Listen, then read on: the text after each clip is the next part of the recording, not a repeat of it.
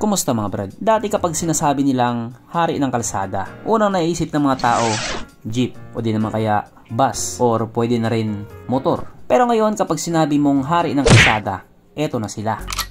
Mark Beats. Mark Beats. Batang pasaway At lahat sasabay Sila na talaga ang bagong hari ng kalsada. Ang mga magigiting na e-bike riders. Kung paharang-harang ka sa dinadaanan nila, sasamain ka. Kaya kapag parating na sila, umiwas ka.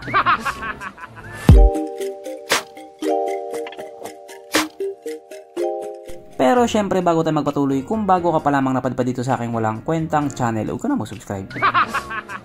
So yun na nga, hindi na po natin may tatanggi na sa ngayon, e-bike na talaga ang bagong hari ng kalsada. Sobrang dami na po nila. Kaunting panahon na lang talagang sasakupin na nila ang mundo.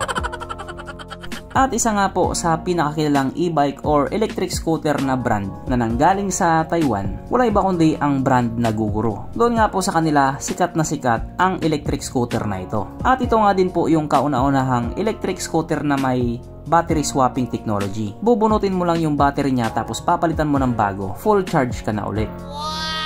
Kaya kahit saan ka nga po magpunta, kayang-kaya. At ngayon nga pong first quarter ng 2024, may in-unveil na naman silang bago na magiging available nga po sa second quarter ng 2024. At ito nga po yung Gogoro Pulse or Gogoro Pulse. Ah, basta Pulse yun. Kung ikukumpara nga po doon sa mga naunang itsura, ito siya, medyo ibang-iba na. Ang ibig kong sabihin nag-evolve na talaga yung mga design nila. Mas pinagwapo pa nila.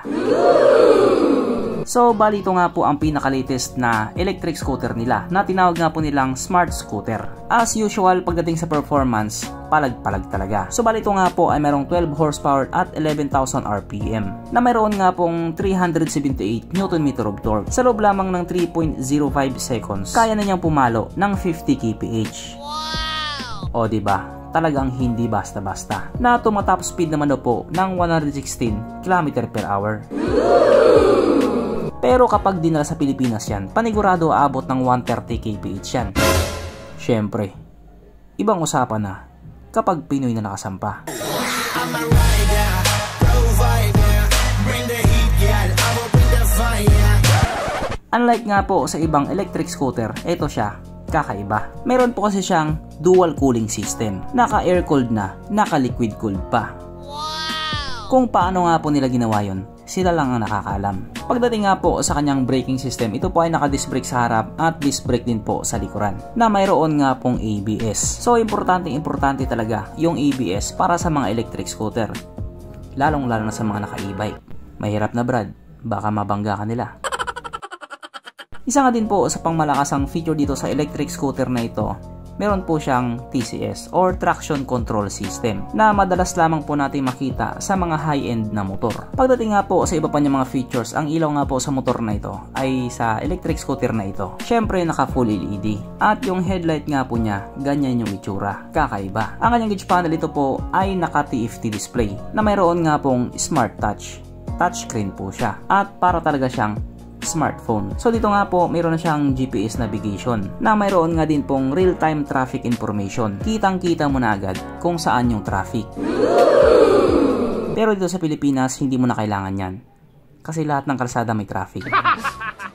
Meron din po siyang anim na riding modes na itatouch mo nga lang po kung sakaling magpapalit ka. At itong Gogoro Pulse nga po ay mayroong tatlong variants. Ito nga po ay ang Gogoro Pulse Gogoro Pulse Pro at ang Gogoro Pulse Ultra na may starting price nga po na 109,800 New Taiwan dollar na kung i-convert nga po natin into Philippine Peso ito po ay papatak ng 198,000 pesos.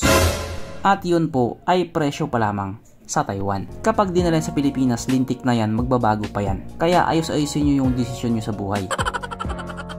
At dahil nga po, second quarter pa no 2024 magiging available ang electric scooter na ito. Kaya wala po muna tayong bounce. At dahil dyan, marami na namang nalungkot. So hanggang dito na lang muna mga brad kung may gusto kong sabihin or gustong idagdag doon sa mga sinabi ko. Mag-comment ka na lamang sa ibaba. Okay, bye.